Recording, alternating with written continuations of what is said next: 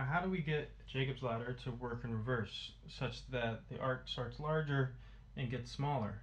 Because if we if we make a circuit that ha- produces a high enough voltage across a gap that size, it's not going to start here. It's just going to start at the closest point and then work like a reg- regular Jacob's ladder from there on, like this.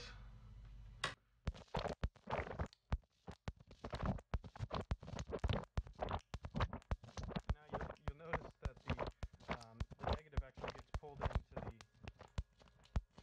the positive wire because of the uh, attraction. So we know that a Jacob's ladder works because the hot air that is created by the plasma arc is more conductive than a cooler air. So the hot air rises and the arc follows that hot air. So what we could do is we could take a Bunsen burner